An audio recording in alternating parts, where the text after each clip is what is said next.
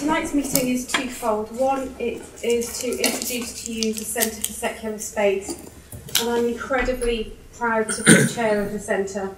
And I'll, I'll, tell you a little bit more about that um, in a while. But also to um, to raise awareness, to invite you to be party to a conversation between Dr. Ghayasuddin Siddiqui, Asif Munier, and Gita Sahgal. Um, this is a conversation, and we welcome you to join in and ask questions um, when, we, when we get to the point of taking questions. The issue that we're going to talk about is the genocide in Bangladesh in 1971. I have to hold my hands up here and say this is something that I knew nothing about. That could be because of my Pakistani heritage, and um, but I also think it's an issue in history that that has been forgotten, that people disregard, and that we need to be talking about and addressing issues that are coming out of that. This is something that has happened in all of our lifetimes. Um, so, right, a little bit about the centre, and then I'll come back to the topic of the discussion for the evening. Centre for Spe- Secular Space began as an informal network of experienced human rights activists all of us had worked together for many years on women's rights, on human rights, and working against fundamentalism. And please note the plural there. We're not focusing on what any one specific religion. We're looking at fundamentalist beliefs across the world. We came together formally in February 2011, and um, this is our first meeting. And we're raising an issue that, that in particular um, has been working on for many years that's a little bit about the, the centre. Um, there's a there's a website, so if you just Google Centre for Secular Space, you can find out much more about what we do, publications, and other events that we're holding. Right, back to tonight's meeting. Um, as I said, this is essentially a conversation. We're relaying the story of the work that was done by Gita and Dr. Siddiqui and Asif. We're going to talk about how their paths have crossed over the years, their witnessing of momentous events in history, but also through this conversation, we want to raise some really important questions about human rights, about those that we raise and those that we challenge, about the connections between blasphemy and genocide. But it's also a conversation that's taking place against the backdrop of, a, of an ever changing world. We've had the Arab Spring, we have the growth of, of religious lobbies, but also the very recent publication of Salman Rushdie's memoir, which includes his experience of the fatwa against him following publication of the Satanic verses. This conversation is, is between actors who were sometimes on opposite sides of the Rushdie affair, Gita and Dr. Siddiqui in particular, their stories, their experiences of then and now. But it's also about the genocide I, I just want to say a little bit um, about the, the, genocide. As I said, I, I knew almost nothing um, about what had happened. Of course, I knew about the war between Pakistan and Bangladesh. And there were a couple of, um, there's, a, there's a comment particularly from Robert Payne, um, who wrote a book the year after the end of the war. And he said that the Bangladesh genocide was amongst the most centrally and carefully planned of modern genocides. And in his writing, he ranks this up with the atrocities in the Soviet Union and the Holocaust of the Jews. The numbers are always contested. The estimates are of 3 million people murdered. The figures could be higher, the figures could be less. There is also the elitist side of getting rid of professionals, of teachers, of office bearers, a targeted attack on the people of Bangladesh, but also the gender side, the targeting of males in the same way that we saw in the Balkans in recent years. This conflict also had a terrible, brutal sexual violence as a major component of its strategy. And violence against women is, is often seen as separate and distinct from discussions of the Bangladesh genocide, and even more separate from discussions of blasphemy. Our conversation tonight will hopefully bring together a number of these issues. They are interlinked and they are interconnected that I think is enough from me. Um, I'm going to um, introduce um, our three um, our three actors. Um, Asif Munier is the youngest son of Munier Chowdhury, who was murdered on the 14th of December 1971. He is the founder member of Projonmo 71, an organisation um, of the Children of the Martyrs of Liberation. He is a cultural and human rights activist in Bangladesh and a development professional.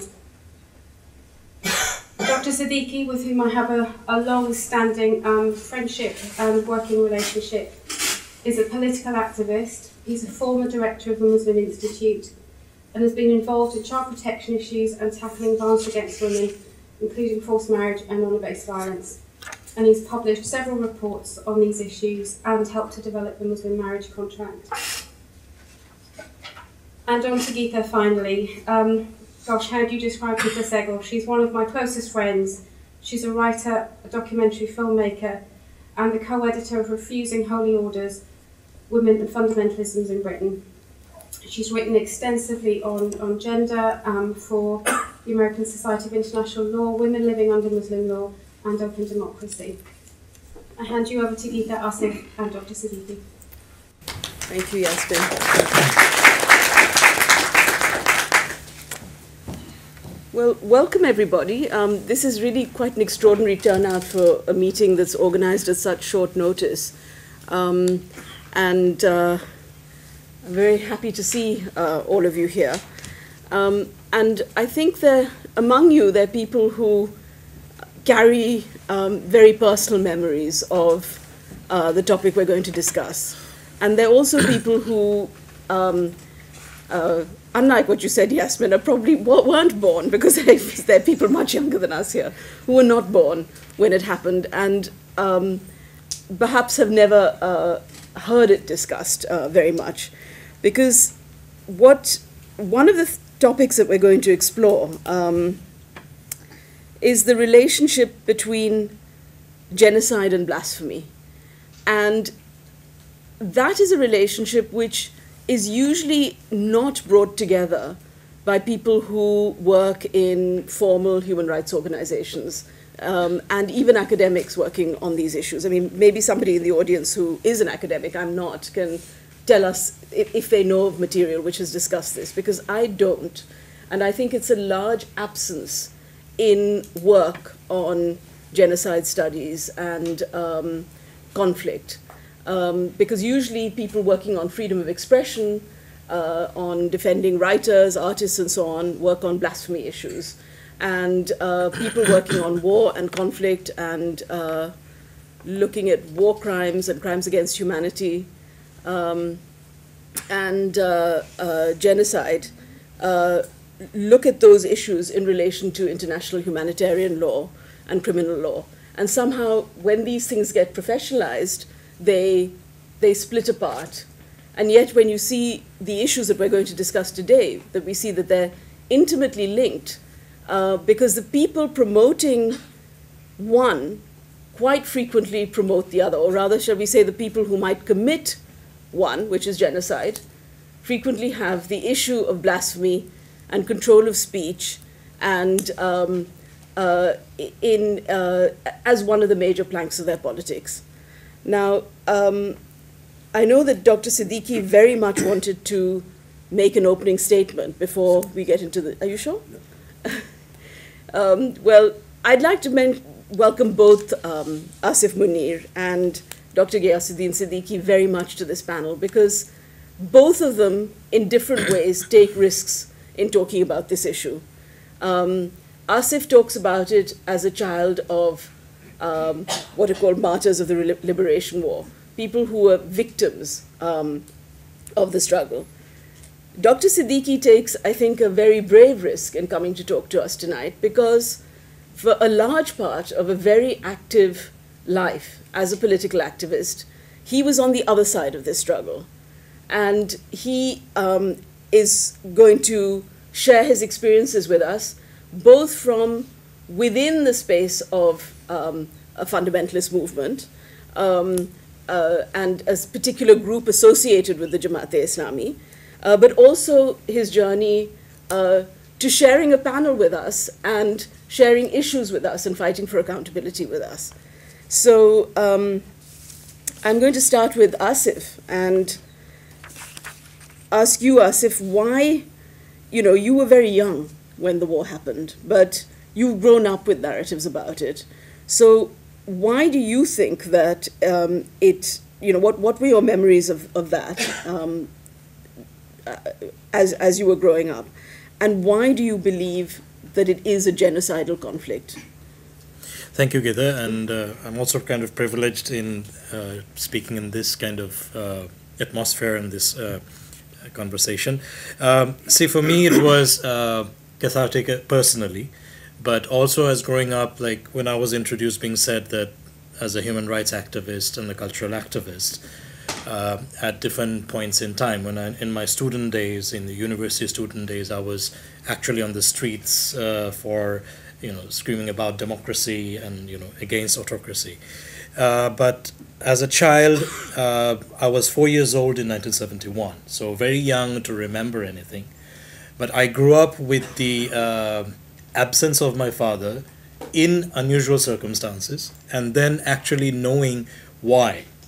And what I've learned over the years is that uh, it was because of people like him and their beliefs that they were systematically targeted and uh, you know the uh, there were selected intellectuals who were picked up deliberately picked up and uh, killed. For my father he actually disappeared. We never found his dead body or it was never identified. We could never identify. So it was at a personal level a personal loss. But then growing up, uh, that why he was killed because of his, of his idealist, uh, idealism and uh, the Bengali nationalism, which was quite secular, the views that my father held and people like them held. And that's something that I grew up with. So in terms of genocide, I would say that, you know, it was the intent or the intention that certain people, okay, there were certain intellectuals who were targeted, but there were also mass killings. There's debates about numbers and all that. But uh, these were systematic killings, uh, sort of to uh, wipe out certain groups of people because of their beliefs, not because of, you know, uh, confrontational or, you know, in war situations or whether two parties are actual in, in the battlefield. So, uh, being uh, coming from that and actually playing a role in terms of understanding. I grew up with a generation which has kind of uh, mixed knowledge and feelings about the liberation war. There's been all sorts of confusion created in the history books as we grew up a distorted history of, of how bangladesh was created and a generation and, and a generation after me i can see a lot of people younger than me who i can probably say you know the next generation after me who have even uh, in bangladesh itself have a very distorted understanding of uh, what happened actually in 1971 well i'd say you know you're talking about a distorted understanding. There's a there are numerous narratives about the war and i think never more than today has the issue of whether this was genocide or not been challenged, and it's being challenged in academic journals, uh, you know, of genocide research. Um, it's being challenged uh, uh, uh certainly by people um, uh, who uh, took the part of Pakistan in relation in relation to it, um, who've always, you know, their narrative has always been this was a civil war and an internal conflict. Um, so I think we're going to come back to this issue because the issue of intent, I mean, the, the genocide is not just mass killing. That you, you could have a set of um, very, very um, uh, widespread and large conflict which might amount to war crimes or crimes against humanity where a lot of civilians are killed, but it might still not meet the definition of genocide. And the definition of genocide comes about where there is intent to um, uh, destroy in whole or in part a particular group. Now, that group cannot, at least in the definition, in the, in the classic definition in the Genocide Convention, does not include political groups. And that's why, for instance, um, when um, Bangladesh actually passed um, laws immediately afterwards, they did include uh, political groups because their experience was that, that political people who were nationalists had been targeted as well although the Genocide Convention doesn't. And therefore, Cambodia, for instance, which came after Bangladesh, um, people had difficulty describing Cambodia as a genocide because it was the Khmer Rouge actually killing most of the Cambodian population, but it was thought to be on political grounds, and therefore uh, nobody thought class or any other issue that might have been implicated would um, uh, come into it. Now, Dr. Siddiqui, from your point of view, what do you feel, you know, having observed uh, the conflict from the outside? I mean, you were here in Britain at the time, you were an activist. So if you could please describe to us where you were situated politically and what you were doing and how uh, the conflict appeared to you at that time. Well, thank you, Gita. First of all, just a brief account of me. I was a student uh, at Karachi University and part of Islami Jamiat Talaba, which is student wing of Jamaat Islami. And uh, I was the head of university unit of Jamiat Talaba. Uh, and somehow, as a result of working as part of Jamiat Talaba, um, I began to understand its theology, its approach, and everything. And I see this uh, as a genocide, the reason being its ideology, because Jamaat Islami's ideology is based on Salafism which divides human being based on your belief, uh, us and them. And the fact that uh, Bangladesh, or previously East Pakistan, was being led by a Awami League, which in the eyes of Jamaat Islami, a party influenced, manipulated, uh, controlled by Hindus or Hindu ideology and uh, taking Pakistan away from Islam. Obviously, it was Islamic responsibility to eliminate that threat and uh, that part going away, separating from Pakistan. Obviously, as far as Jamaat Islami was concerned, it has been established to establish uh, God's will. And uh, so they were traitors.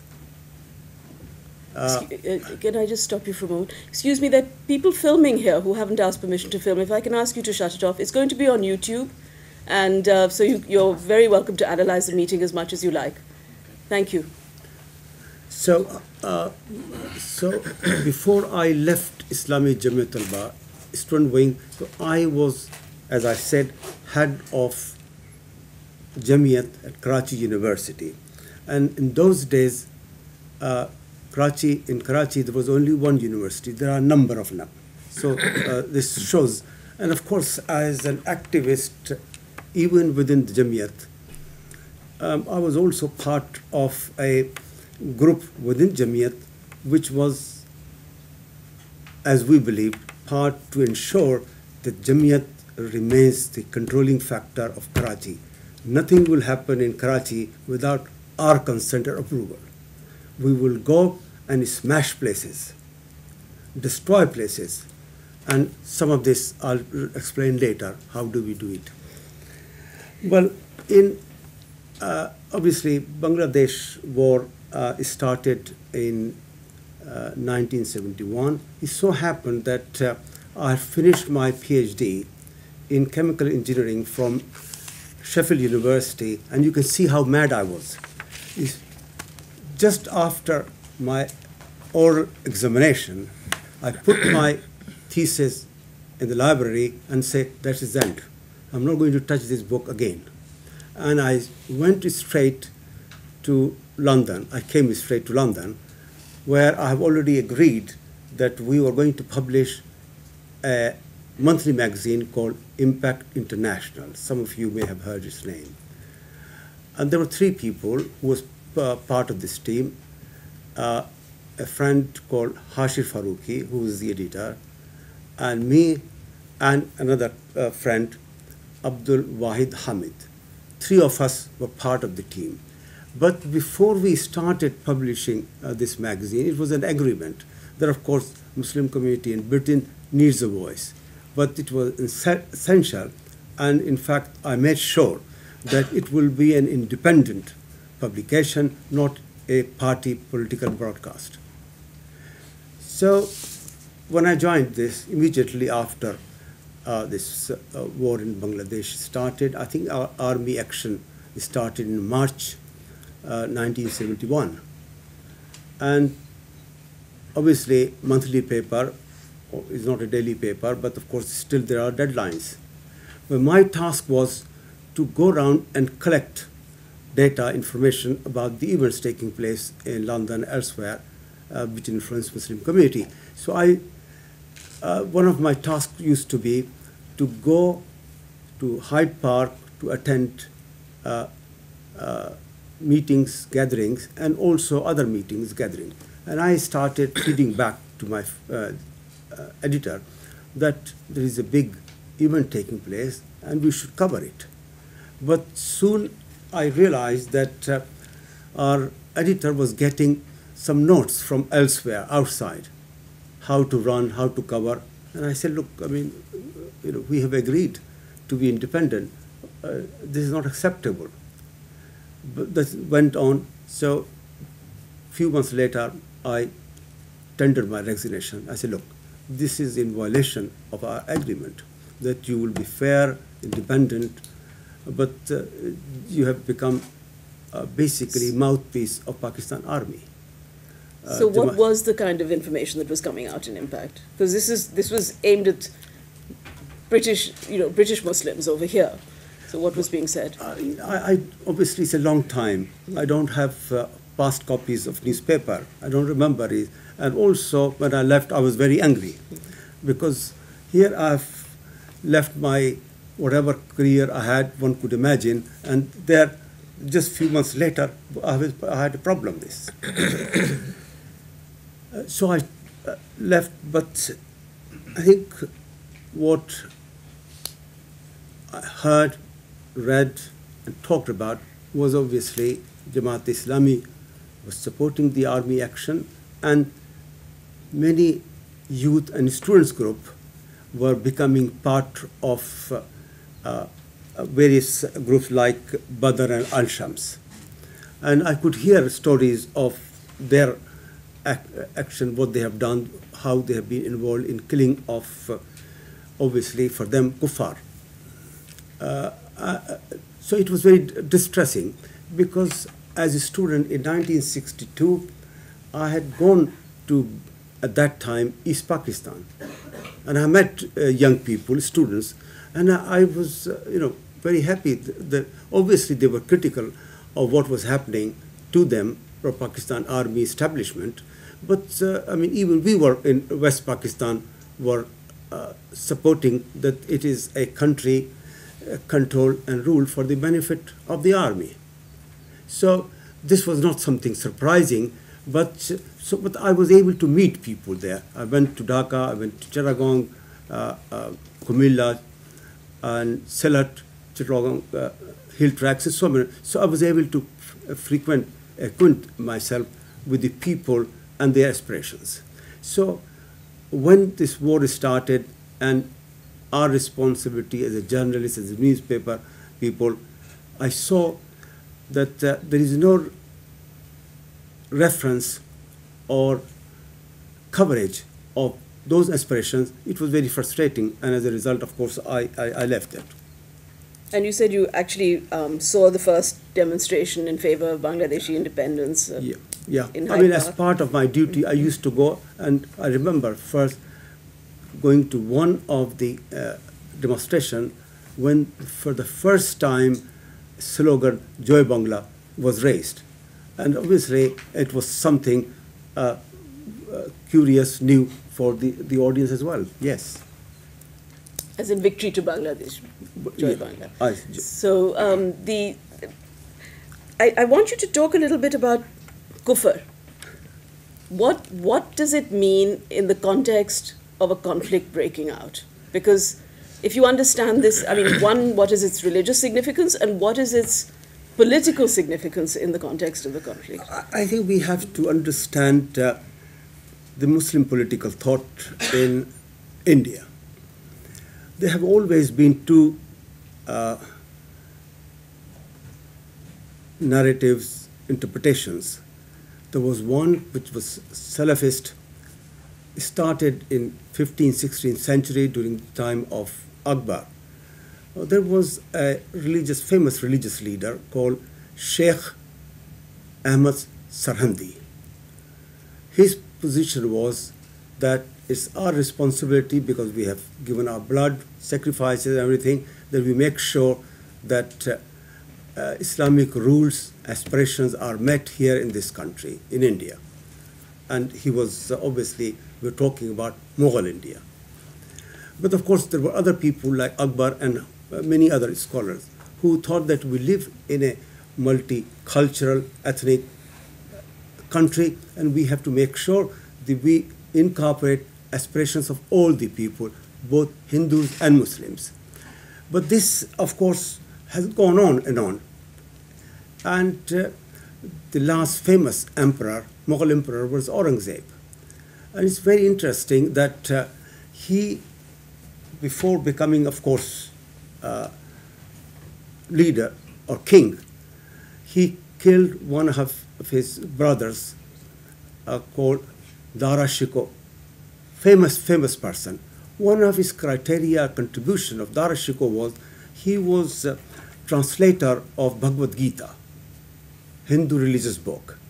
And as a result of his translation into Persian at that time, because Persian was the uh, state language, court language of Mughal India, he became very influenced for, for its spiritualism. And his position was spiritualism only stems from belief in God, one God. And it's not possible, and he saw that there is a possibility, a basis where Hindu and Muslim together can build a civilization. But of course, once Dara Shikoh was defeated uh, in battlefield, uh, obviously Aurangzeb wanted to punish and punish according to Islamic law. One is the important thing is that Aurangzeb was disciple of one of the uh, uh, uh, religious leaders of Sheikh Ahmad Sirhindi. He was obviously uh, uh, declared as murtad and as an apostate, apostate, yeah. and then killed. So it's very, very important. And this, so this conflict in Muslim societies in India has continued. And in fact, it was clash of these uh, ideologies, understanding that led to partition of India as well. Of course, Pakistan was created as a land for to promote Islamic ideals, to establish Islamic state, and so on and so forth. But soon, Maulana Maududi, who was founder, should have realized that uh, uh, is, the state was nothing other than a platform for the Pakistan army to exploit, manipulate, and control the resources of Pakistan. I mean, recently I was in a Stop the War coalition. To, uh, we'll get to the Stop the War coalition. I don't want to get ahead to that, but I want to go back to Asif at precisely that point, because of course this was one of the reasons that um, uh, a national movement started uh, uh, in what was then East Pakistan. And I want you to reflect a bit, uh, Asif, at how this idea of kufr played out in the people who, you know, did it, do you think that was the main um, thrust of the army, the Pakistan army? Uh, you know, who were the people for whom this idea was important in relation to the conflict um, in Bangladesh? Yeah, I mean, if we look at uh, who were the people who were targeted in 1971, not just the intellectuals like my father, but also other people.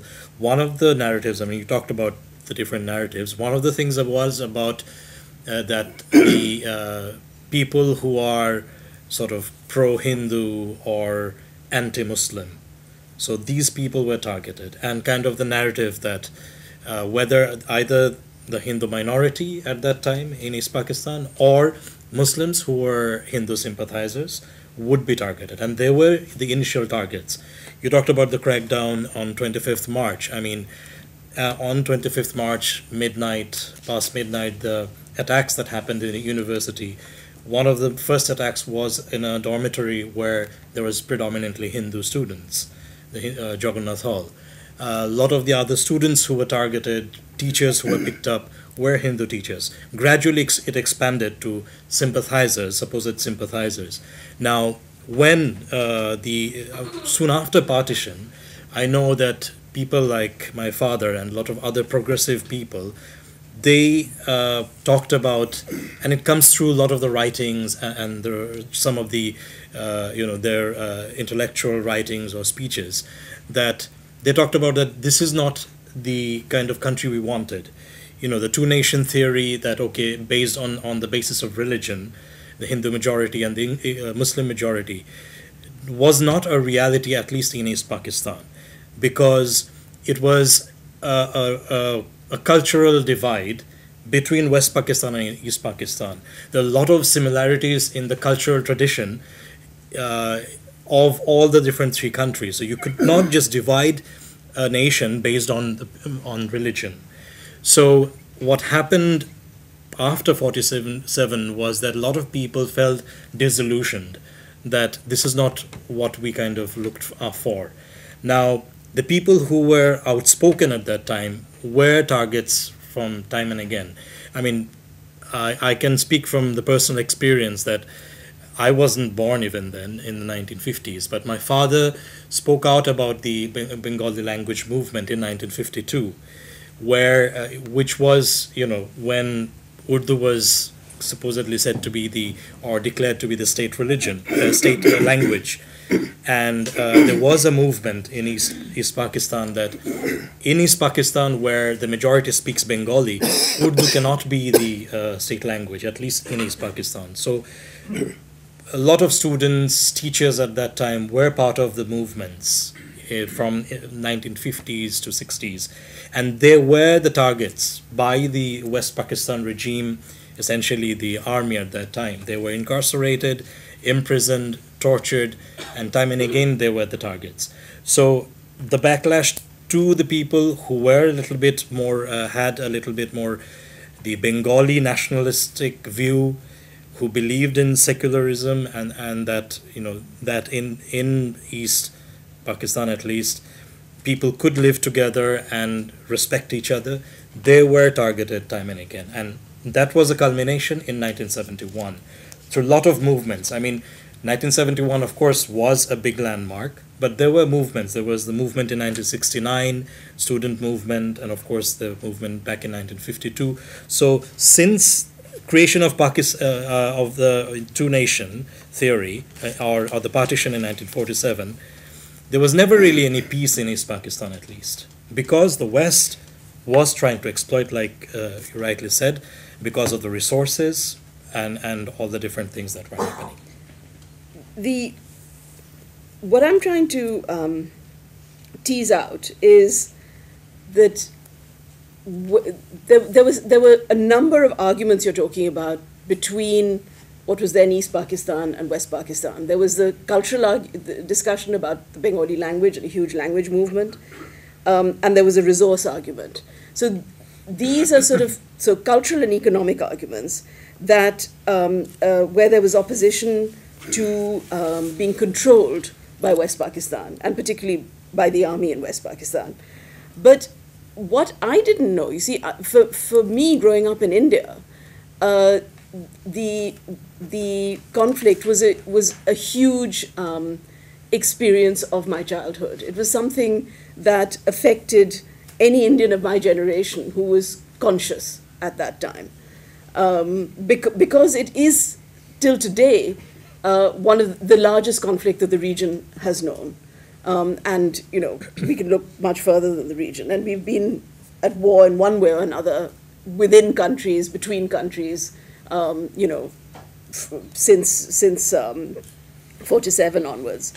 Um, but what I didn't know until I began to do some investigative work in the 1990s uh, on the issue um, of, of the conflict was that actually the killings were not committed only by the Pakistan army against um, East uh, Bengalis. Um, they were also committed by people who were themselves Bengali.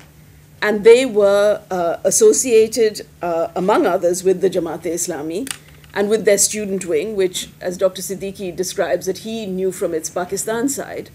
Um, uh, there were, you know, allegations that these were the ones, and indeed, it was a squad um, that was known as the Al Badr, which we believe picked up your father uh, in the very, very dying days of the war, on the 14th of December, just two days before the Pakistan army surrendered. Um, so, what what do you remember? You know, what what was known or investigated about these? You know, what was their driver? Uh, what led them to do what they did? I think um, again in terms of I think that it was kind of uh, trying to gain uh, sort of their own political space uh, in that kind of scenario.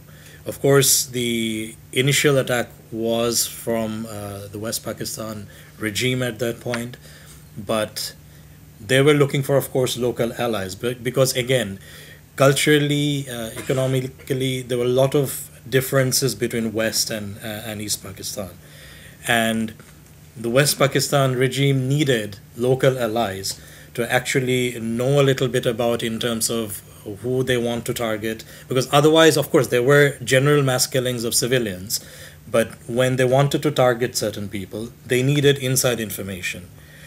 Uh, pro jamaat people or even you know the jamaat activists or uh, sort of fundamentalist activists saw this as an opportunity to be in the good books of the west pakistanis because they perhaps felt that uh, this is kind of good for them as a political uh, party.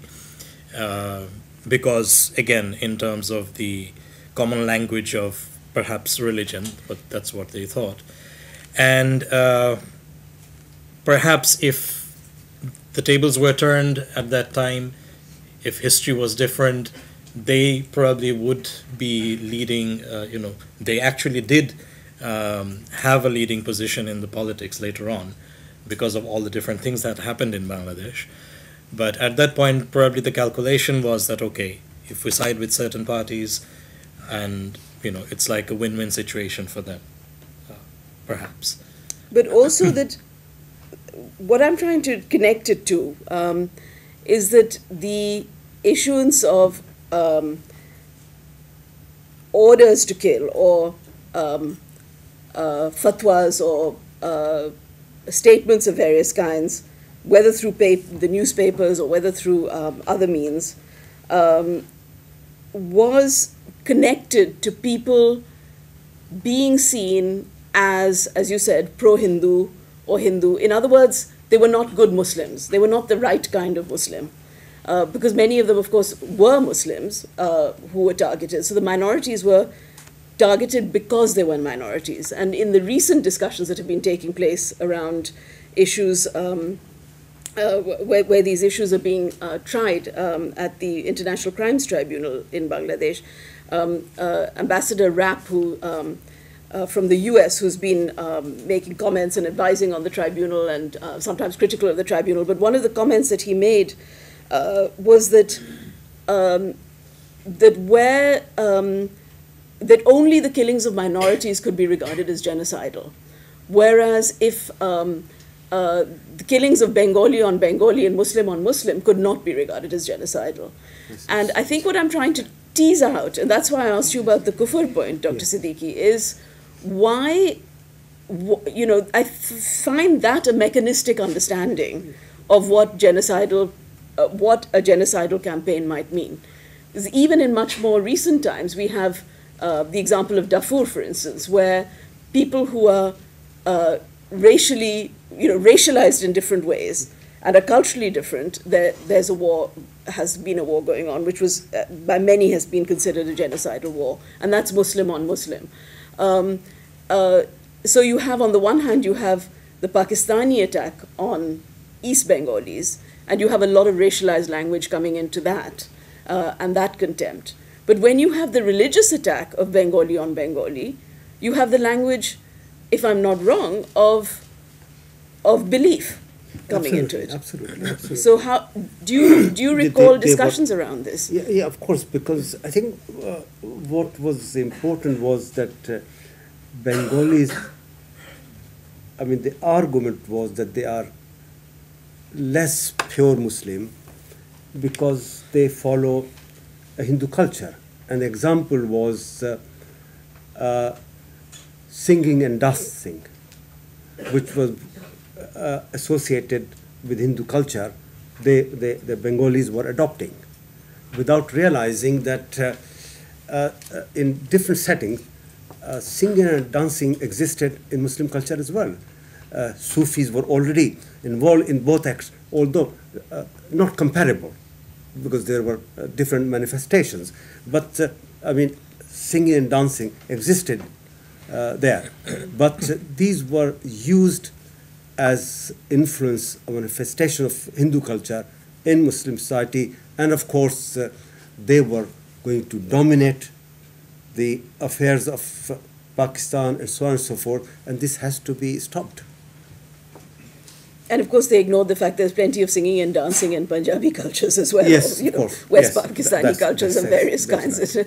It's uh, it's Yeah. there. So they were trying to But- reform but- every kind of I think culture. what has happened is that perhaps uh, all these Punjabi uh, dancing and singing existed more before Pakistan, because the new Pakistani culture was uh, Salafi influenced, obviously had some uh, uh, curtailment of that.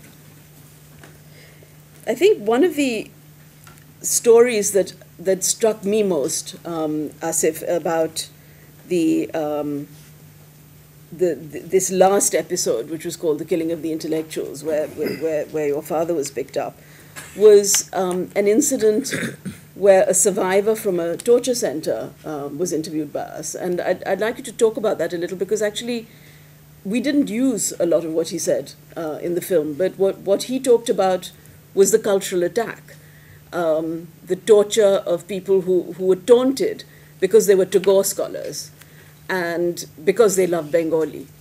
Um, and th- this has particularly haunted me because it's very hard to imagine that somebody who is a beloved poet um, well, across the subcontinent, but particularly in Bengal, both East and West, and who was a Nobel Prize winner and stood for peace, um, whose name could then, you know, be used as an excuse to kill.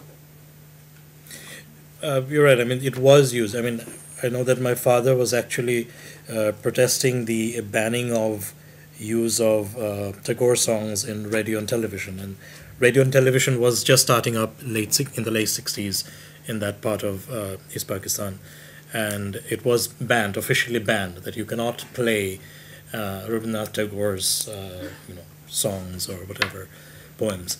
Um, now, uh, a lot of the uh, and this person who actually was a survivor from one of the killing fields, uh, it still gives me shivers to actually you know uh, remember what he was talking about. See, um, it was a planned attack. I mean, it talked about that already. That you know, all through 1971, uh, you know, figures are of course debated, but around uh, widely said that around 1,000 intellectuals were targeted and killed. But in December, two weeks of December, from 1st December to 15th, in during these two weeks, about 200 uh, intellectuals were picked up and killed. And a lot of them actually disappeared, like my father. Their bodies were never found. Um, but uh, people like person like this person who actually was a survivor from one of the killing fields talked about how they were taken into certain uh, you know torture chambers and where he actually said that he heard uh, you know names of certain university teachers being said and you know the things that they believed in and again and again they were said that you are a hindu sympathizer you are a, you are uh, you know a shame to a muslim name even if that person was muslim. So that and that was also not just by the pakistan army. There were um, you know these al badr rajakars these were people these were bengali speaking bengali people. Uh, my father was uh, picked up by two three bengali boys not by the army. And my uncle who was there and he gave his witness later uh, you know a testimony later on um, they also believed the same thing. They kind of echoed what the Pakistani regime said, but of course, again, because of their own political gain. So, uh, trying to target certain people because of their beliefs and because of the cultural uh, tradition, trying to isolate that that this is the Bengali culture is more a Hindu culture. So we need to move away from that and establish a more Muslim or Islamic culture. And in fact- incidentally, incidentally, this uh, among minorities, it's not only Hindus were killed, but also Christians were killed as well. Yes. Although, of course, Christians were in a small numbers. Yeah. And also, just to add to what you're saying, that this whole uh, uh, debate about uh, Tagore and Iqbal, uh, there is a lot of discussion in West Pakistan has gone on that somehow Nobel Prize Committee preferred a Hindu uh, rather than Muslim uh, uh, in terms of giving. Uh, but then at one stage, I also was influenced with this argument that how come this is happening, and I studied both Tagore and Iqbal, and then I realized that there is a difference between the two. Tagore talks about universal values, and and Iqbal talks about sectarian values. Because when we will control the world, then we will give freedom, not before. So then I realized that obviously why uh, the Nobel Prize Committee selected one, not the other one. Please. Well, I want to move us forward. Um, uh, and uh, Dr. Siddiqui, to ask you, do you remember what happened after the war? Um, was there an influx of people from what then became Bangladesh who came to England at that time? Did you meet any of them? No, I didn't know more, but I did hear with some friends some of the stories, uh, uh, the part Al Badr uh, played uh, in killing people. That was the only thing that uh, I came to know. Well, uh, I, I want to ask Asif briefly that um, it's said that there was an amnesty after the war, and you know all these matters were put to rest. Uh, do you want to comment on that? Briefly, I mean, of course, there was the international politics which was there. I mean, you know, we all know all of that a little bit in terms of uh, the sort of the global superpowers and the different sides that that was taking. Uh, and uh, the initially when uh, Bangladesh was created, or you know, after 16th December, there were certain countries which first recognized Bangladesh as a new state, and certain countries later on, and uh, the lot of the more sort of Muslim majority countries were uh, sort of recognizing it a bit later than uh, earlier. Now, what happened around that time? Uh, can you repeat your question again? Well, that there was a the, there's said to be an amnesty that sort of Right. ended all the Yeah. issues of the war. Now, So- there's of course a lot of uh, debates, and I think there's a lot of twist of words. I mean, the history goes that you know there were a certain number of prisoners of war at that time when uh, you know uh, the surrender was made on 16 December, so Pakistani prisoners of war. But under the Geneva Convention, you know, prisoners of war were, were, were exchanged. But there was also kind of an intent expressed, and you know, there are a lot of things in the history books that Pakistan regime and Bhutto himself uh, said that given the prisoner, I mean, once they have the prisoners of war back, they would have trials held under Pakistani law in Pakistan. So, based on that goodwill, uh, certain an amnesty was given. But even then, people who were involved in direct crime of killing, arsoning, raping in 1971, they were not pardoned. So they, that was still there. But if we know the history of Bangladesh, while this sort of, uh, you know, the initial few years, um, there's a lot of debate about that, whether the post independent government had an intention to try or take the trials forward or not. But, uh, you know, there was very little time between 72 to 75. And the regimes afterwards, there was a systematic effort to actually, you know, put this into the back burner. So that never really came up.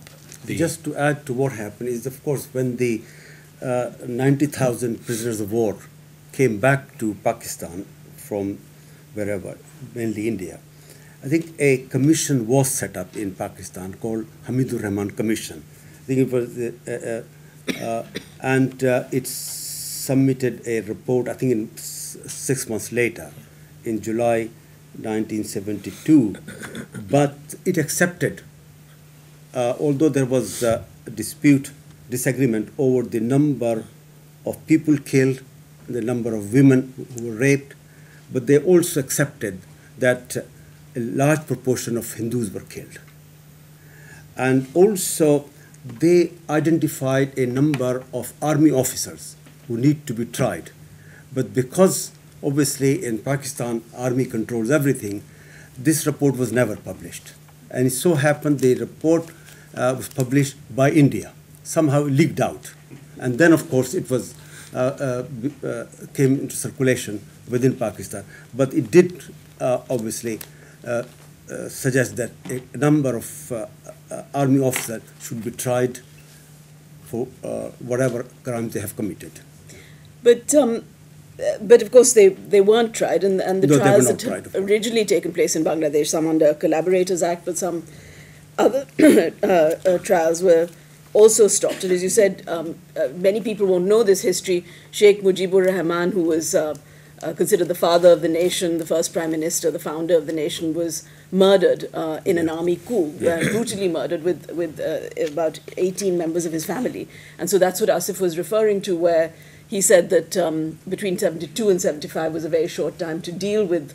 Uh, with a very new nation struggling to come into being to deal with these massive issues of um, uh, crimes uh, committed. I can just uh, add a little bit of anecdotal story. Uh, uh, I heard from uh, when my father was picked up. There was my elder brother who actually opened the gate, and my uncle.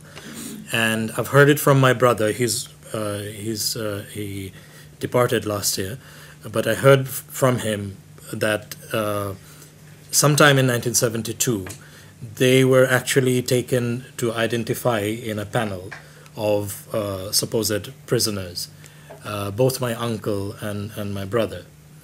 Uh, of course, there were a lot of confusion, and you know they were partly masked. Uh, they later on they removed their mask, uh, but even then there was at least one person, which was common for both my uncle and my brother.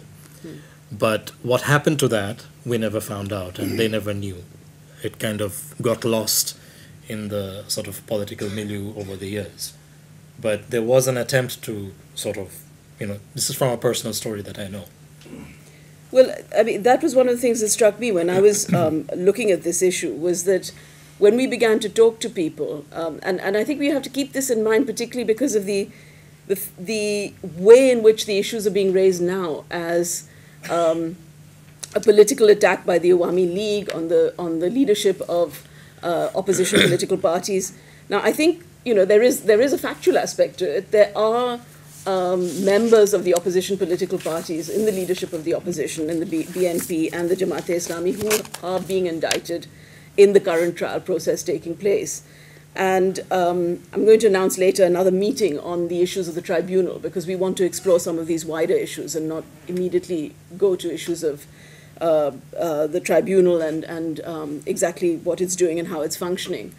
Um, but uh, what what I think we must bear in mind is that many of the people whose names have come up um, in the indictments, including one of the men I investigated, whose name I couldn't have spoken until the tribunal actually said that we are investigating allegations against this person.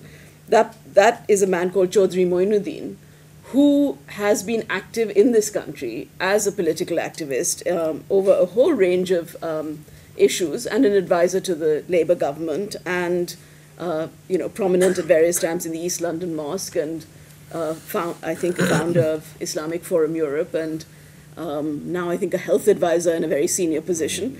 Um, so a man embedded as an active citizen in this country um, is being investigated by a tribunal in in Bangladesh, which is accused of being uh, an absolutely political uh, tribunal.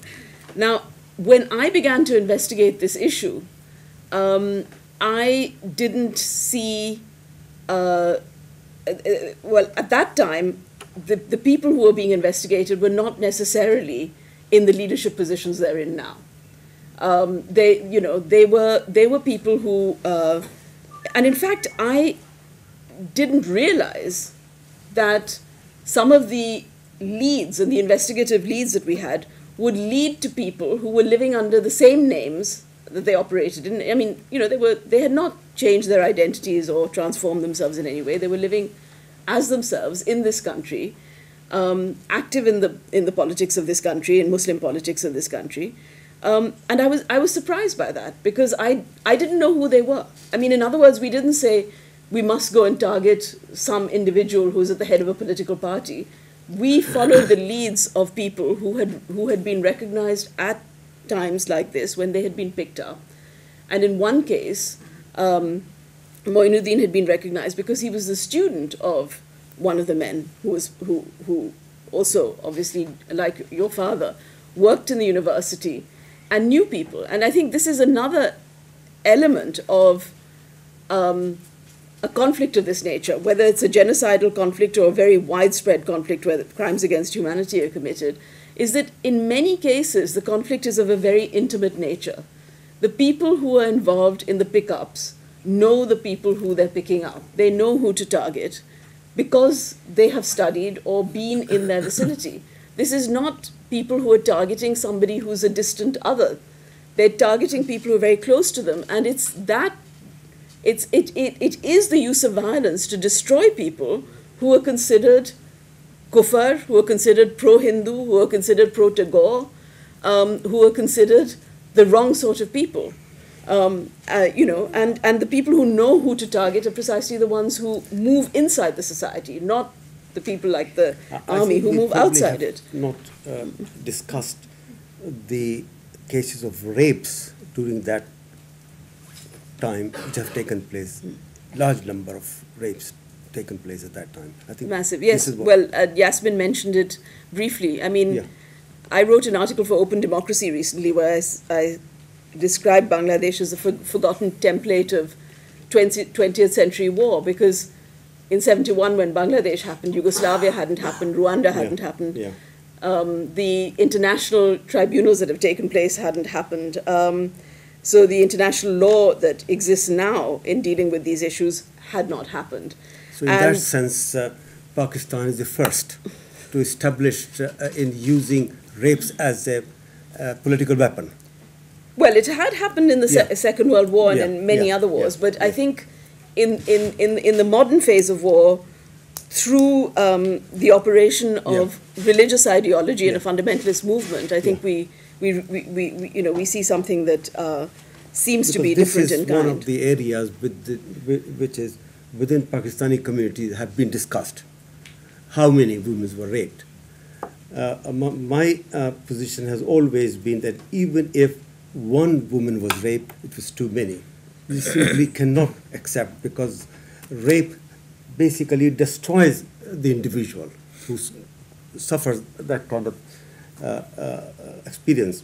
So, but uh, uh, uh, but uh, in Pakistani communities, uh, the effort has been just to reduce the number, only very few. Uh, and this has not been properly debated. But I feel very strongly because I was obviously uh, uh, uh, involved in women issues, forced marriages, and domestic violence, honor killing, and so on and so forth. And I've seen how this act basically destroys the individual. So it's very, very serious. It, And I, I, I think you're right there that um, there is now more academic work being done. There, there also has always been activist work being done around this issue. What hasn't been done, really, and that's why the subtitle of the meeting is What Human Rights, Anti Racist, and Peace Organizations Won't Tell You, is that after 72, not a single of the major human rights organizations has published an investigative report on any of the issues of violations in the war, whether, whether it's about women, which they, in the in the 70s, they, you know, women were hardly subjects of human rights. So really, there was virtually no work done on sexual violence and rape, but not even on other violations that had um, been openly discussed. And you know, there there is a huge gap in that material where it is activists like Asif and people who we know in, in this country who have been mobilizing and organizing and producing materials, and people who are journalists like myself who almost stumbled into this issue um, and, and uh, began to work on it, who have produced the work that um, you know, made sure that there was a push for accountability. But meanwhile, over here, um, uh, uh, Dr. Siddiqui, I want to go back to the period, you know, 10 years or so on from, um, from 71, in the late 80s, where on the one hand we have a period in the, in, in the subcontinent, in both in Bangladesh and in um, Pakistan, of a period of Islamicization, Yes. where you have uh, military rulers Yeah. working with fundamentalists, promoting um, laws on uh, what we call the hudud ordinances in Pakistan on on um, uh, criminalizing sex outside marriage, the zina laws, criminalizing blasphemy, um, and uh, in Bangladesh you have a slightly different story, do you not, Asif? What happened was that all through the 1980s, there was a very vibrant civil society uh, movement against that.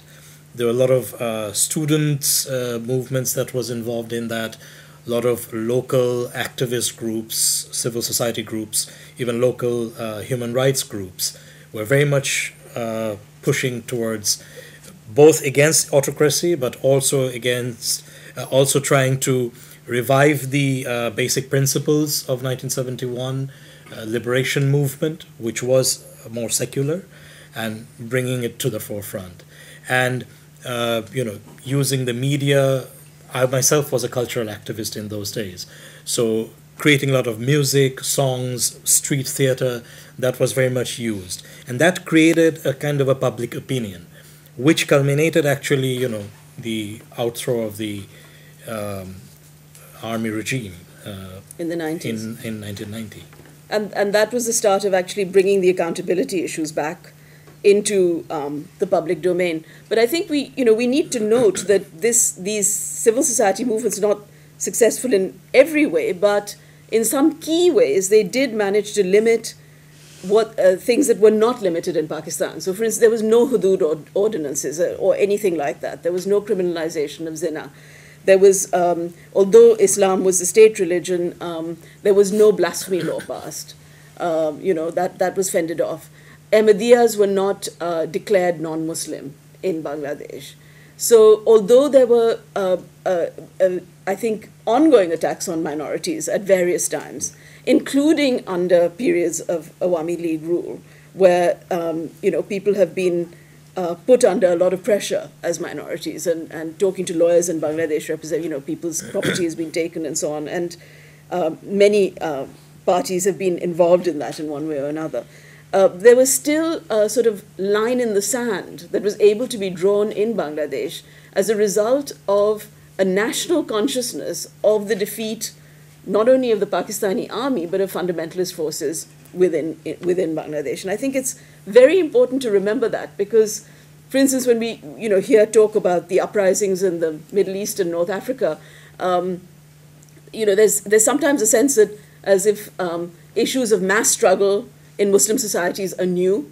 They're not. I mean, um, you know, the, the majority of the Muslim population of the world is in, in, in Asia, uh, in Indonesia, in Pakistan, in Bangladesh, in India, much larger than in the Middle East and North Africa.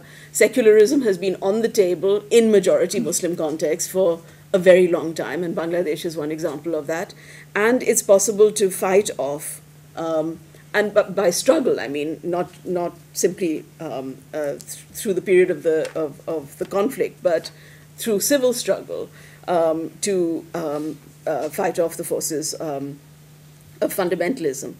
But here in Britain, around that time, uh, Dr. Siddiqui, and I know this is a hard thing for you to talk about, but I think people will be very interested in hearing about it. You were still um, an activist, uh, uh, as you said, associated with um, not just with the Jamaat e Islami, but with a man by then called Kaleem Siddiqui, who um, I think was a very, very bad man. And uh, he was from Lucknow, for, uh, for, uh, and he came here and he founded something called the Muslim Parliament. And can you tell us what role he played in um, promoting the fatwa on Rushdie? I think uh, his contribution was that uh, um, I think he, in some respect he played a role in persuading or initiating uh, fatwa itself. Because I remember um, it was uh, fatwa was issued in February 14th of February 1989. 89, okay. I think uh, that's right. At that in February, uh, just few days before the fatwa was issued, we had gone, uh, Dr. Kaleem Siddiqui and myself, uh, gone to Tehran to attend a conference there. And it just happened that on 14th of February, it snowed heavily in Tehran. And uh, we were at the airport, and uh, all the foreign guest was departing. Uh, and Dr. Khatami, who later became president of Iran, at that time he was uh, Minister of Religious Affairs. So he appeared uh, at the airport VIP lounge and he met uh, a number of delegates who were departing. But then he came to Dr. Kaleem Siddiqui, Kaleem, can I have a word with you? So they both went to a corner and have a word with each other. And uh, when he came back, I said, What did you talk about? he said, Well, uh, I was just uh, talking about uh, Rushdie. I said, Well, look, this is a very dangerous book, and, uh, and uh, something has got to be done. And uh, I said, Well, did you suggest anything? So I, I, I yes, he said, I have told Khatami that Imam has to intervene and do something. So the matter uh, ended, and because it was too much snow at the airport, the flights were cancelled, and we came back to our hotels. Uh, about two hours later, a young man uh, came running and uh, came to Dr. Kaleem Siddiqui. Uh, you know, uh, because obviously the fatwa was announced at Tehran radio, we do not understand uh, Persian language, so we couldn't understand, we couldn't listen. So he came running and said, you know, Imam has issued fatwa against Rushdie. So obviously the whole atmosphere became electrified. And, uh, and uh, after hearing this, two of us met to uh, discuss this whole issue. So uh, our friend, Brother Kaleem Siddiqui said, our time has come. And he said that, uh, well, we are now uh, shortly, we're going back to London. And when we arrive in London, obviously there will be, uh, because of fatwa coming from Iran, uh, there will be many journalists. I have got to think what I'm going to take uh, this. So he decided that, uh, you know, he's going to support the fatwa. And of course, rest of the story is well known to all of you, most of you. So the uh, fatwa was an incitement to murder, in effect. Well, this is what it said. It was said, yes. It yes. was an order to kill. Well, this was the intentional or threat inherent in the fatwa. Yes, yes, yeah. So uh, uh, then, as a result of that thing, a campaign was launched, and uh, which eventually gave birth to Muslim Parliament.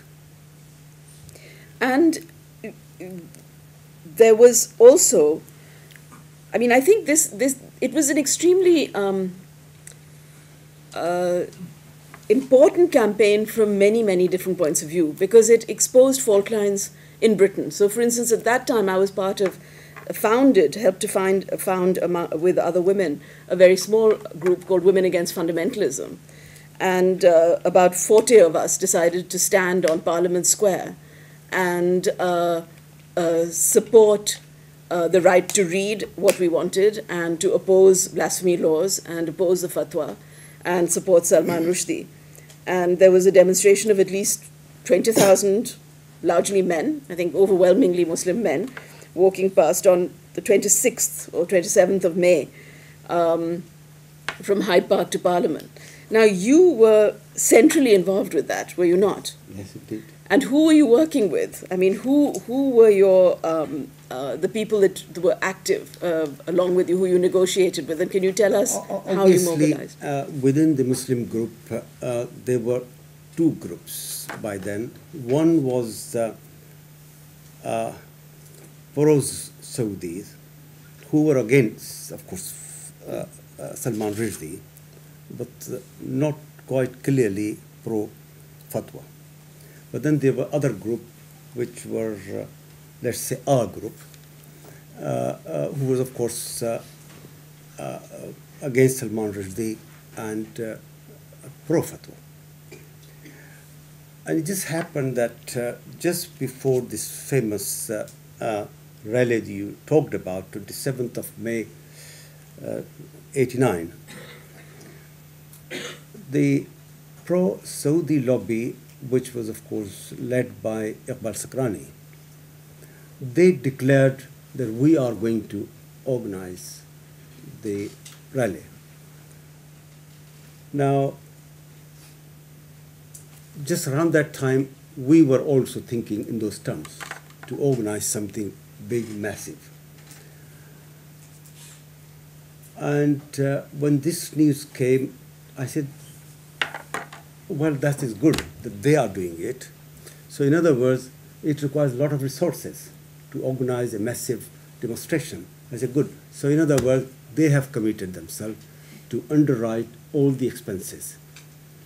And, uh, and uh, because of my experience and training back in Pakistan as a student activist, I had perfected how to control demonstrations, demos, rallies. So I, I knew the techniques, how to uh, uh, take over and control and redirect. So I, I, I said, well, to our friend Khalid Siddiqui, that uh, this can be done. They organize it, we take over. and I, I said, but I need your permission because I mean things can go wrong as well. Uh, he said, Are you sure that you can do it? I said, Very much, that uh, we can do it. So, because the call has been made by Iqbal Sacranie's group, and in charge of that demonstration was our, our friend, Muin. Chaudhry Moinuddin. Until then, I did not know him. That was the first time I met him. So we had to go to negotiate terms and conditions of that relationship. Uh, and uh, we, so the, uh, but we said that look, you are doing it, but we also plan to do it. But at the same time, we thought it would be good if we go together. They were thrilled because obviously, if there are two, they will get a smaller rally and they, it will not have the kind of impact everybody was thinking. But we put certain conditions that uh, we will only cooperate, work together, if uh, we control the stage. We have the state secretary. And on our side, we had a number of groups who were supporting our position. Uh, some of these were uh, in, in, in Pakistani society, the community is divided into various factions. One is, of course, Wahhabi, Salafi, Deobandis. The other is Barelvis. Barelvis uh, are committed, known for their love for prophet. So we had, they were on our side, obviously. So uh, we, uh, I spoke to one of the leaders, and I said, uh, this is the plan, and we will insist that you become the secretary. He was thrilled, obviously. The crown was coming without effort. So, and then we planned in such a way that on that day, all those who were supportive of Barelvi position and Iraqi Shias, Pakistani Shias, and Irani Shias, all I approached one by one to invite that look, this is a event we can't lose because obviously uh, either Saudis lose or win or Imam wins. So they were obviously very supportive of this whole idea. And, uh, and the idea was that our supporters would, of course, go there, mingle, but carry different posters. The uh, Saudis have taken posters, photographs of Fahad, for example. But on our side, we had uh, photographs of portraits of Fahad, but garlanded with shoes, just to humiliate him, to insult him. Who was? Can you explain who he was? So, can you explain about the garlanding? You know, what what what was the difference between no, no, these I mean, posters? I mean, people uh, don't the know. Saudis were funding ultimately to show that we control the Muslim community in this country, and it is uh, behind uh, Saudi king that hundreds and hundreds of thousands of people have come. So we want to just show to the other side that Saudis do not control the masses, the other groups control, and to, to, to express our contempt for the Saudi ruler, we made sure that there will be poster garlanded with shoes rather than flowers, of course. And there were Khomeini posters and so on as well. Well, Khomeini posters some. as well, of course. So it was a coming together of the um, of the the Shia and the pro Khomeini people. It was the the Jamaat and the fundamentalists. It was the Barelvis, and the irony is, in some ways, that many of the people who later were mobilized um, uh, uh, uh, in in campaigns uh, against um, uh, what you know who who, who were Muslim, even imams who were who were obviously active in mosques and so on, but were anti-Jamaat in Bangladesh, were mobilized behind these banners, these various banners. I- I mean, but, but a very wide issue, range of no, people. but on that issue, uh, uh, there were very little difference. Both were supporters of uh, uh, blasphemy and everything. Yeah, exactly. Yeah, so, yeah, so yeah. although there was a difference in in terms of national memories of the conflict, um, this issue was an issue that mobilized large numbers of people Yes, across the spectrum of lots of different Muslim opinion, and one of the things that I find very interesting about your witness to this is that much of the discussion that we have in academic circles, for instance, says, for instance, Professor Modood has argued that, uh, uh, you know, this was not a fundamentalist uh, uprising because the, the reason that um, uh, there was such a mass uh, rallying in Britain was that Barelwis mobilized, and Barelwis particularly um, find the person of the Prophet precious. And this was very, and the, the, the satanic verses was therefore very insulting to them, specifically more insulting to them than to those from Salafi and Wahhabi traditions who are not so involved with the person of the Prophet. And uh, what I find interesting about this testimony is that you're talking about the political work that various factions of fundamentalists took to mobilize large numbers of people who were not necessarily fundamentalist, but who did, who were mobilized on basically a, a very frightening platform of the issue of blasphemy and kufr and behind a death sentence. So I, you know, I think that was a, a, a very um, interesting moment. We'd hoped that we would have time to discuss what happened later, where we'd get to the anti-racists and the and the peace movements and so on. So I'll just skip ahead and say that Dr. Siddiqui played a very honorable role at the start of the war. He was involved with the Stop the War Coalition. He was elected um, uh, in the Stop the War Coalition as an office bearer. And that role ceased eventually when the SWP led Stop the War Coalition made a formal alliance with the Muslim Brotherhood, where the Muslim Brotherhood stayed outside the coalition but became a formal, formalized partner where they organized Muslims on a communal basis. So we had at the start of the war the possibility of actually a mass mobilization on a very progressive issue, which um, doesn't, you know, it, it, wasn't allowed to go forward because of the activities uh, of the left and the sidelining of Muslims who by then had changed their politics and moved uh, into a more secular uh, mode. And at the same time, I remember because the film, the War Crimes film, was made in the mid 90s, and I thought when the war came, surely somebody must listen to understanding what the issues, you know, that there is an issue of Muslim fundamentalism that is taking the world stage at this point in time, and somebody should understand that this is an issue that we need to take account of. And I mean, I debated this issue with a number of uh, people from different kinds of backgrounds. Tariq Ramadan, the deputy head of the MCB, um, somebody um, from uh, Begg of Cage Prisoners, and so on. And my argument there was that the government was allying, the Labour government was allying with the MCB, which it had helped to promote, which I said was a Jamaat associated group.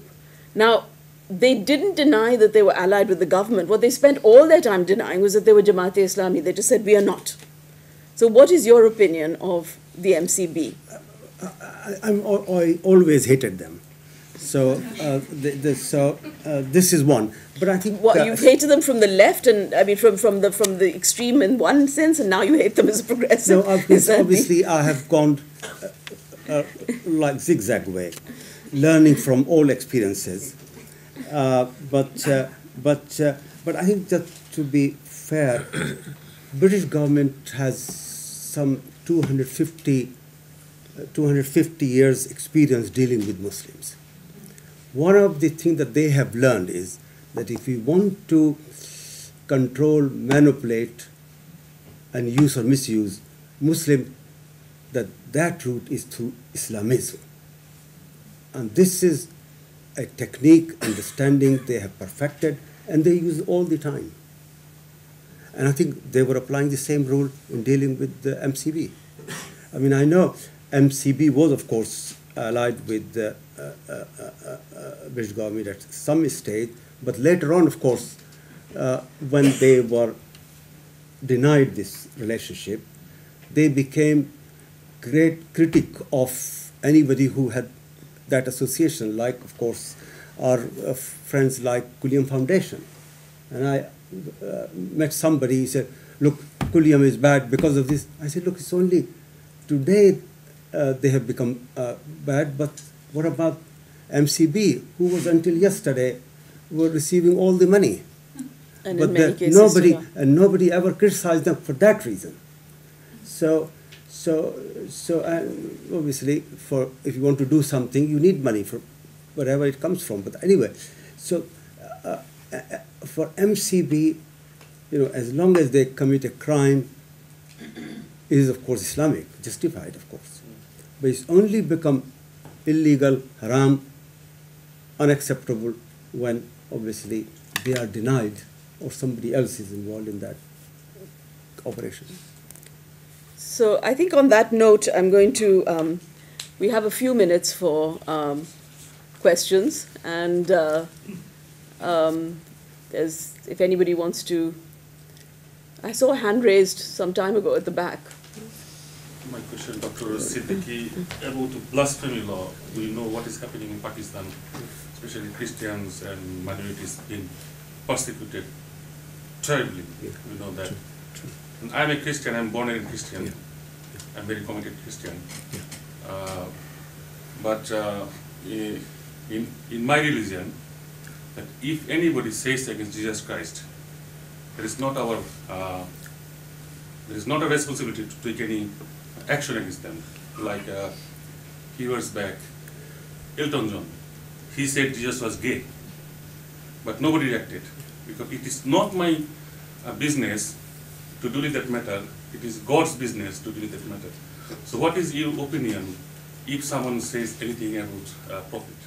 I think one has to learn the way Islam itself has developed. I mean, right at the very beginning, Prophet Muhammad created a community where even it was not necessary that the only thing that he was emphasizing was the people to become believers, believers in one God. Once they were believers, everything was acceptable. There was, it was not conditional that they also accept Muhammad as a prophet as well. So they could accept, continue to believe that Jesus was the prophet, and they were believing in God. The same was true with the uh, with Moses, the Jews. So, but I think this lasted first 90 years, and slowly this whole emphasis on believers became turned into Muslims. And I think it's all part of uh, influence of Arab tribalism, which has influenced Islamic history greatly, that we have seen all these things. There is no justification for blasphemy as far as Islam is concerned. Is man invented, man made. And in fact, uh, not very long ago, it was our uh, uh, uh, would be caliph, Ziaul Haq, General Ziaul Haq, who has invented this. And of course, ordinary people are suffering. This is unfair, unwanted, undesirable thing. So I'm sorry if your community has suffered. Um, I have read newspapers what happened to this young girl in Islamabad. I'm sorry about this. Thank you. Yeah. that Islam has been abused and abused and abused either for individual gain Yeah. or for a country's gain. Now, when I was in Saudi Arabia, Yeah. The audacity of a Saudi man telling me, ah, you said you are from Bangladesh, you should have been Pakistan, you are a Muslim. Yeah. I said, you excellency, true. But why the hell you are a Saudi? You speak the same language Mm. like Iraqi, Syrian, Kuwaiti, but still you are different country. And when I become different country, you are angry that I'm not a Muslim.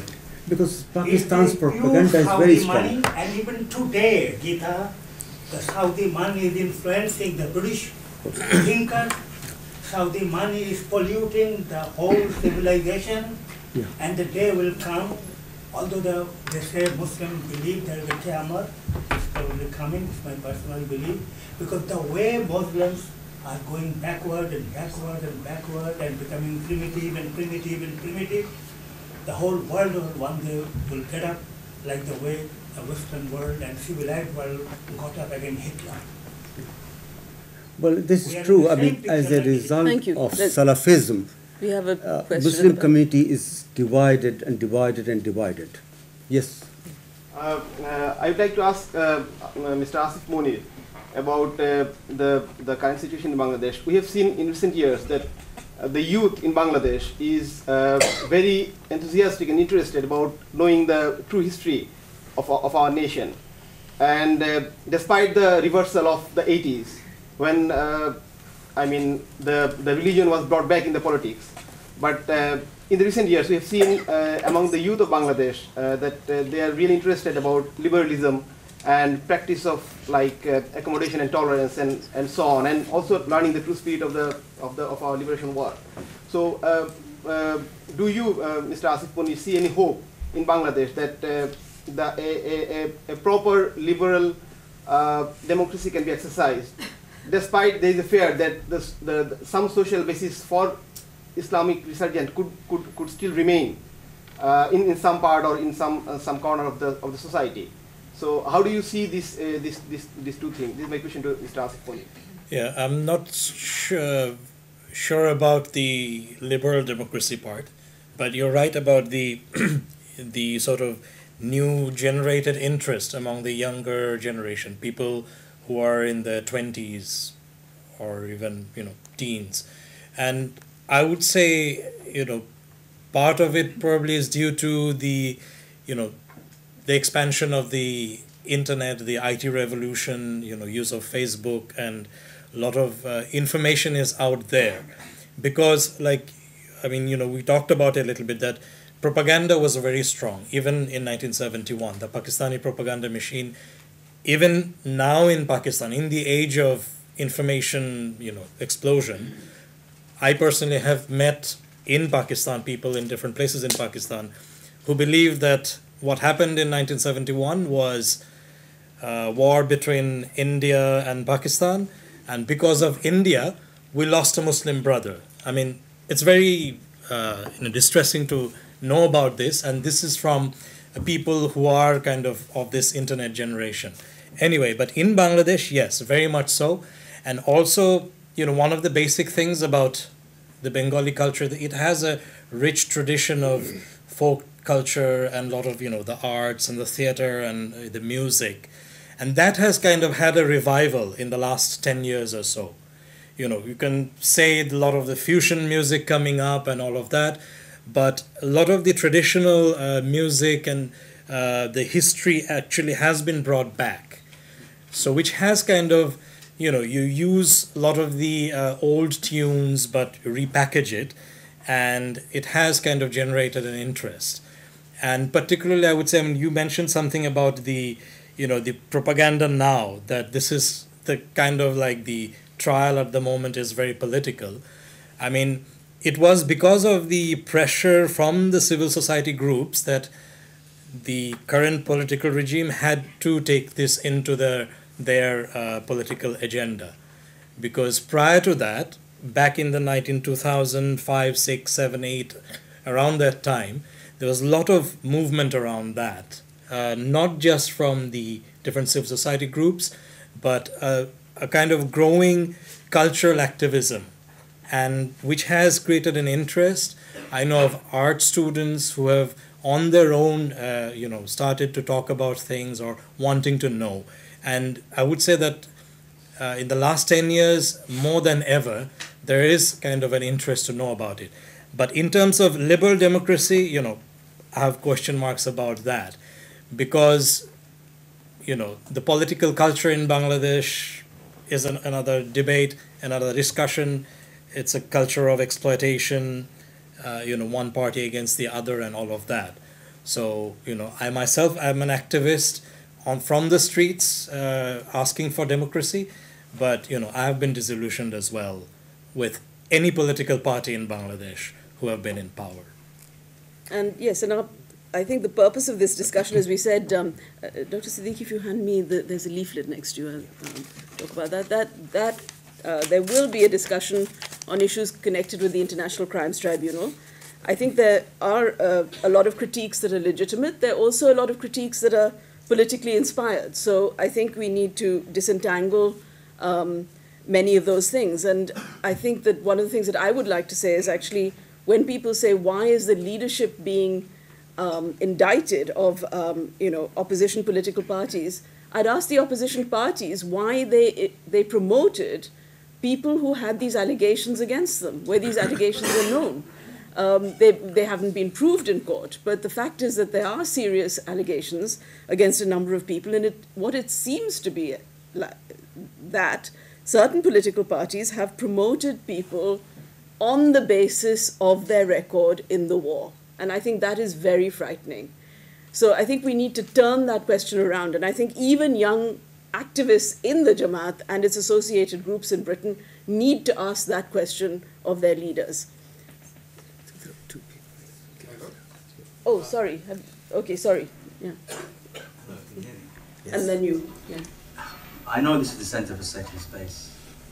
But I'm a bit surprised, uh, whatever position you're from, that the genocide is the worst genocide in the history of Bangladesh, has been sort of used to frame the whole subject solely in terms of Rushdie and, the whole phenomenon that secularism I understand, and particularly Islamophobia, because obviously Christianity was mentioned as being philosophically peaceful, which of course it is, but not historically.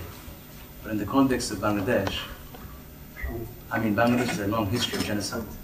This is not the first genocide, this is the worst one. And of course it was Islamism, it was Jamaat, it was Pakistan, shoring up its failure and identity in the fact of partition. But if we consider that in 1943, maybe 2 million people were killed intentionally with the support of the civil servant for Churchill, who denied food supplies that were being sold on the international market, and Hindu and Muslim in Bengal slaughtered by starvation. And of course, after 1857, in Delhi and beyond, we see the hanging of the middle class by the British Empire throughout India. And this is not a post-colonial or even an Islamist response as is being framed.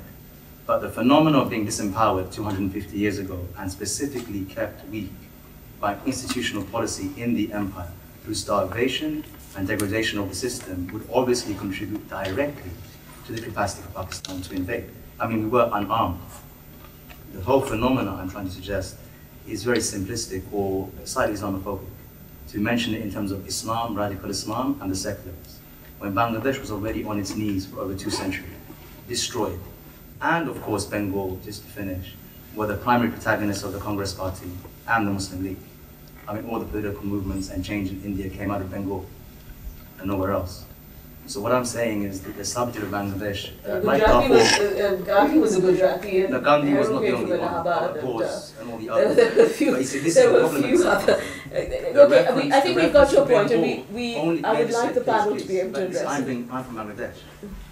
The reference to Bangladesh only in terms of the frame of Pakistan or India or secularism is quite insulting because its history and its reality of this genocide and the previous few centuries is very clear and very particularly employed by the British uh, as for many reasons, and this is the effect of it. Now we have an army, and now we have independence and internationalism. We shall see what will happen in the next 50 years.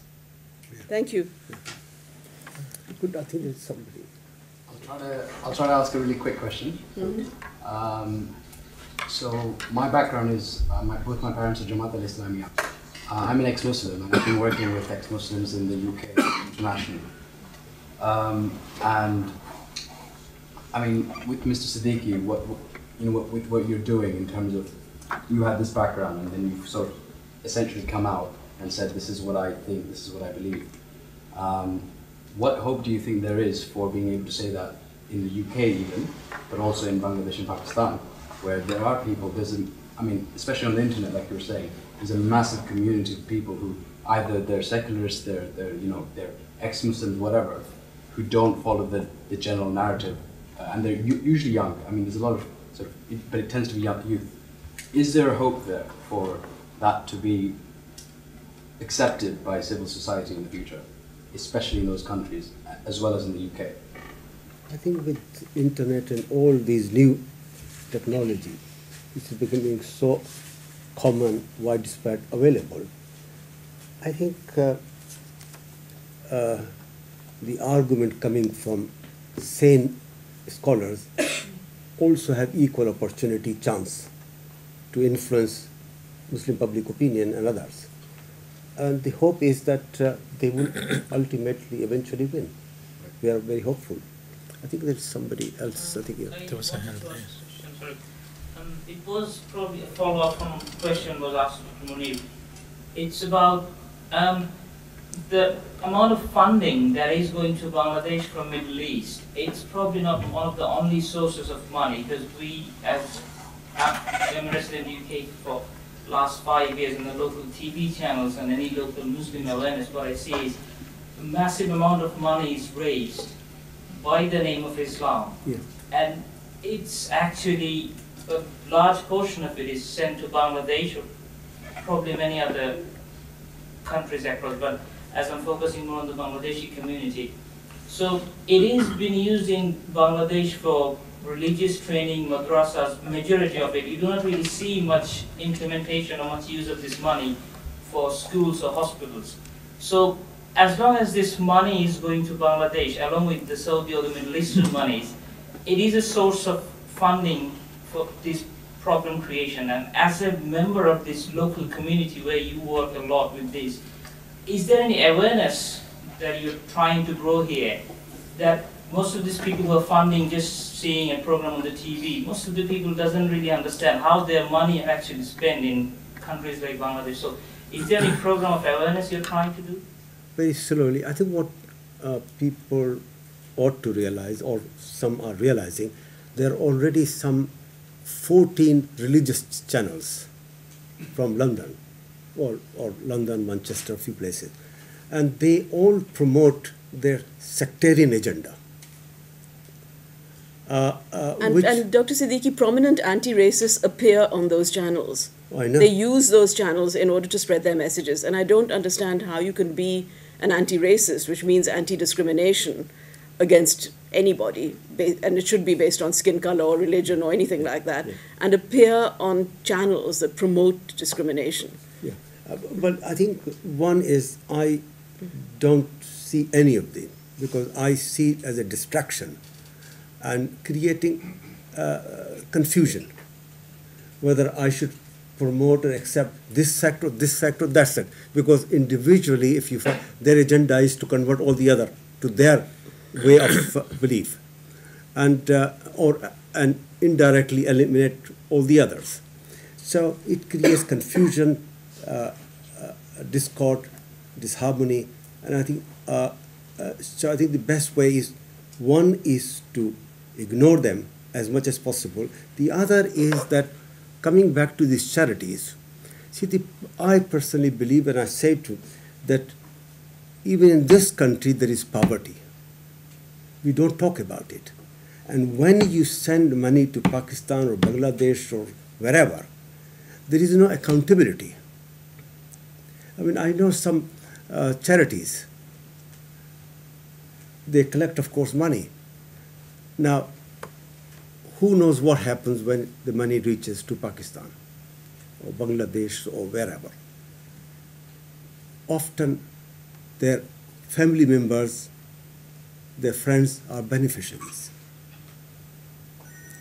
Uh, uh, or their political movements. and political movements. You, yes. you remember, Dr. Siddiqui, that we, we, I mean, one of the times we began to work together was in a group that uh, sadly is defunct now, but I hope that the Center for Secular Space will be able to take on some of the work that we did, which was, it was called Awaaz South Asia Watch, not the Avaaz that's very well known, that's in, um, that, you know, uh, that's a petition site. We were a local group of activists, which included um, people from minorities all across South Asia, um, Dalits, Christians, um, and others, and also uh, uh, many of us who are irreligious, uh, atheists like myself, um, Muslim reformers like uh, Dr. Siddiqui. And the first big piece of work we did was on the Hindutva movement, um, because this was just after the Gujarat massacre, where um, around 2,000 Muslims were massacred in Gujarat, um, uh, and about 100,000 displaced by uh, the Hindu right. Um, Hindu fundamentalist political parties and the, the militias uh, that they work with. And um, so we did a report on the charities in this country that were actually Hindutva charities and how they're sending money abroad. And we sent that report to the Charities Commission, which uh, produced a disappointing response. But it did cut into the fundraising of the charities, and other activists raised it. It was very interesting the way it was raised. For instance, people who, um, you know, uh, in local areas and uh, were, were raising money spontaneously for things like um, an earthquake or something like that and wanting to send money to India, then challenged the fact that this money was going into those kind of charities. We also did a less successful piece of work on, uh, uh, I mean, it was a very good piece of work, but it was much more contested, called Key Tendencies of the Islamic Right, where we mapped the political front organizations in Britain of various tendencies. Um, and uh, I think, you know, without the support of Dr. Siddiqui, we couldn't have done uh, that work. And, and Ansar Ahmed Ullah and many other people who, were, who from various different perspectives, con- contributed their knowledge. But what was interesting about it was that any time you try and talk about Muslim fundamentalism, it becomes contested even within progressive groups and movements. So I found that it was impossible to talk about these things within spaces that were supposedly against fundamentalism and were happy to talk about the Pope and Christian fundamentalism or Hindu fundamentalism or many other kinds of fundamentalism, but not Muslim fundamentalism. And I think that's really been one of our problems. And I, I mean, I want to say Because- thank you to you because no, you because- defended me several times when I did talk about it. But I think I think you know, because I think we have to remember one uh, little thing: Muslim agenda is controlled by Salafist or tendi- tendencies close to that, and I think once we understand, then you can find that uh, we may be lib- liberal in certain aspect, but deep down we carry the strains and viruses of uh, that problem. So that is one of the things. May I ask quickly, uh, the Salafist you mentioned, uh, where is the root at this point?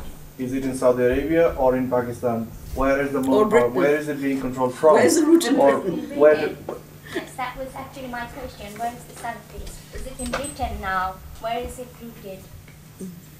Well, it's everywhere. It, is it, is it, it's like a virus. It's a, it's a virus, yeah.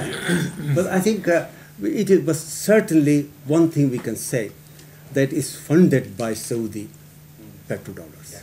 And there is not a small change, it's billions and billions. And in fact, for, uh, uh, you see, when Britain uh, decided to promote this family of Saud in, uh, uh, in Riyadh, they decide they, in return for their saf- safety and security, they were offered two things. First to, of course, Britain when they were world power, and then to Americans. One was oil, and the other was an ideology, Salafism, which can be used to destabilize and destroy everything we touch. So these, uh, you know, they have uh, immense power. And so but uh, Saudi coming at the Salafist or Wahhabi? they are Both together. same. The same. Together. It's slight variation. I but think we, we have to close this down. I'm afraid it's been, for me, a very, very good discussion. I hope you found But it there is interesting. just but I something want, I that want I just s- s- before you close, there is one hand is rising there. No, I'm, I'm going to. I'm sorry. I'm going to ask Asif to make some concluding comments, and I'm going to. Uh, just before he does that, I'm going to announce a meeting that's taking place on the 14th of December, um, uh, called the International Crimes Tribunal Bangladesh in Perspective. It's a presentation and question time. Uh, I think people who work on law issues have many concerns around the tribunal, and they'd want to address them. So this is. Um, uh, a group of independent global net, uh, independent global network of activists and organizations, um, which is spread out across different con- continents, who are working around the issues of the tribunal, and they're committed to redressing international crimes, ending impunity. It's a civil society network um, working around these things um, because this kind of activism has really mainly been done, um, you know, outside the formal human rights framework, although using um, the human rights framework. Can so, I, As- can, Asif, I'd like you to. Asif, can I Yeah. say a few words? I just want to say a couple of things. Sorry. Oh, sorry, it's um, the, the leaflet is going to be handed out. It's here, it's SOAS, but at Vernon Square.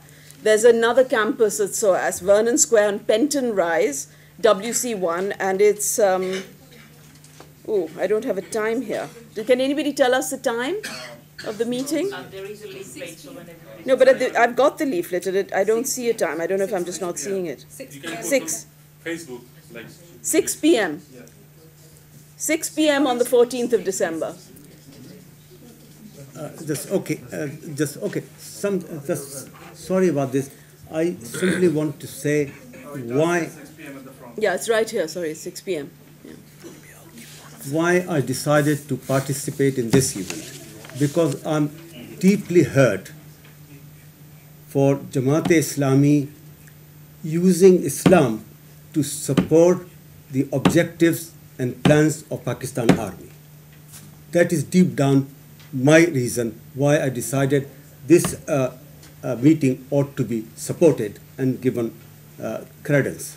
And the other thing is that I hope, in the interest of all of us, that uh, uh, that the tribunals that are uh, going on in Dhaka will be transparent, accountable, and have honest and just conclusion for the future of Bangladesh and for all those who have given life and those who have been dishonored. It is their sacrifices we must honor and make sure that these trials are transparent and accountable and just and fair. Thank you. Thank you, Dr. Siddiqui.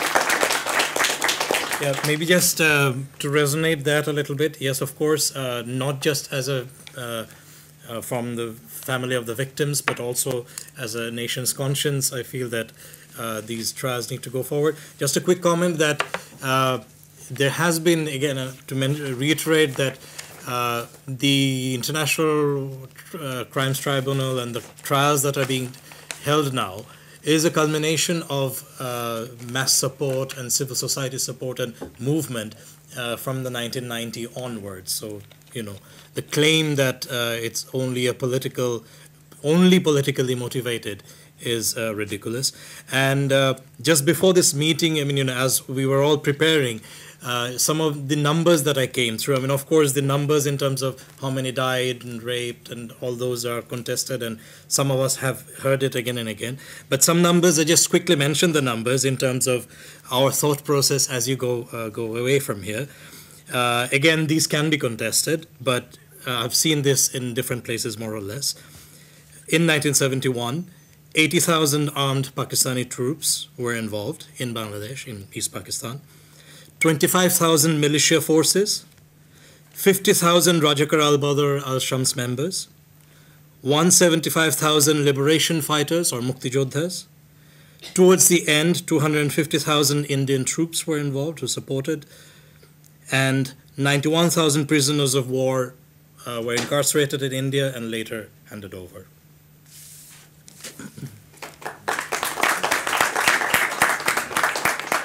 Um, it- just, I suppose, falls to me to thank you all for your time this evening. Um, all of the speakers have given us an awful lot to think about. Um, and I would ask you to join me in thanking Dr. Siddiqui, Asif Munier and Gita Sahgal.